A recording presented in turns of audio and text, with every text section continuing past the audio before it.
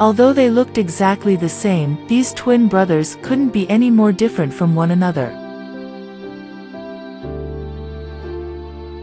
While they were complete opposites, they always got along well, until success showered on one more than the other.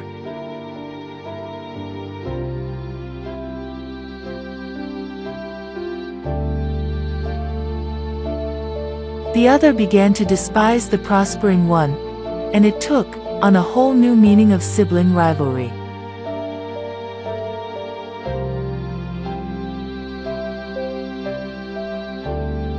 Their lives would take on several different twists and turns along the way.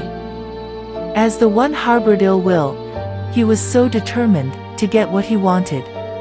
Especially when he wanted his brother's accomplished life, and his wife.